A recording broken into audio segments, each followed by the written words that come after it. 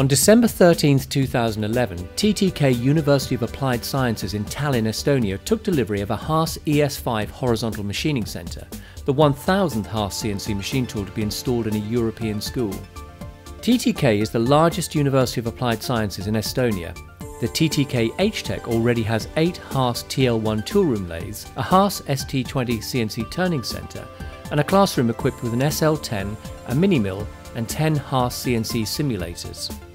After presentations, TTK Rector Mr. Enno Lend performed the ribbon cutting ceremony alongside Haas Europe Director of Marketing Katja Mada and Mrs. Ramia Alev, representative of the Archimedes Foundation, the independent funding body established by the Estonian government. This is very important because uh, we created here the workshop, which is something more than normal HTEC. So this is the possibility to connect the industry directly with the schools. And also very important is that some students going outside of the school, uh, graduated, they can establish the new companies and they know already how to work on Haas machines. So this is very important.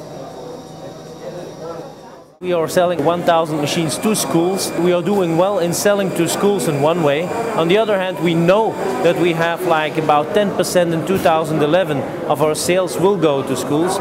And uh, we have our HTEC program uh, that shows also how important that schools are for us because we believe that the schools, that is the future, uh, that are the people that will work and do the manufacturing. So that's why we want to stay in contact with the schools and with the universities.